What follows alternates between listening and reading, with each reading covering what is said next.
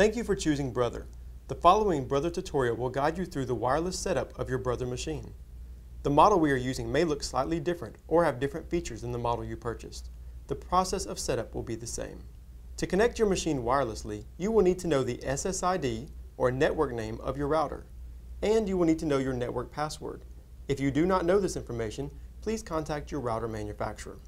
If you have previously configured or attempted to configure the wireless connection, first you must reset the wireless card. To reset the wireless card, press Menu,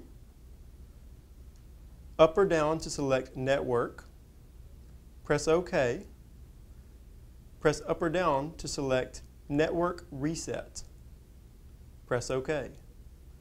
Press Reset, select Yes. The wireless card is now reset.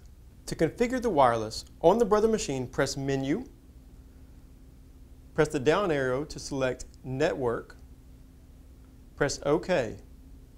Select WLAN, press OK. Select Setup Wizard and press OK. When WLAN Enable is displayed on the LCD screen, choose On and press OK the Brother machine will search for SSIDs or networks in your area. A list of SSIDs in your area will display. Select your SSID or network name, then press OK. If the machine asks you if you would like to use WPS or AOSS, press 2 for No. The display will prompt you to enter your network password. Enter this and press OK. If you do not know your network password, please contact your router manufacturer. To enter your network password, use the keypad. Pressing the number 2 displays an A. Pressing the number 2 again displays B. Pressing it again, C. Pressing it again into capitals, and further into numbers. Enter the network password, then press OK. The LCD will prompt you to apply settings. Select Yes and press OK. The machine will take a few moments to connect to your wireless network and then will display either connected or connection failed. If the connection failed, it is likely the network password was incorrect. After you receive the message connected, make sure your computer is on and you are logged in with administrator rights. Insert the Brother CD-ROM into your computer drive. This tutorial will walk you through the major steps of the installation. The screens you see on your computer may vary from the tutorial slightly. Unless indicated in the tutorial, just select Next on the installation screens to continue. Select your brother machine. Select your language. Click Install MFL Pro Suite. For the Paperport license agreement, click Yes. As the software installs, you will see progress screens. On the Brother license agreement, click Yes.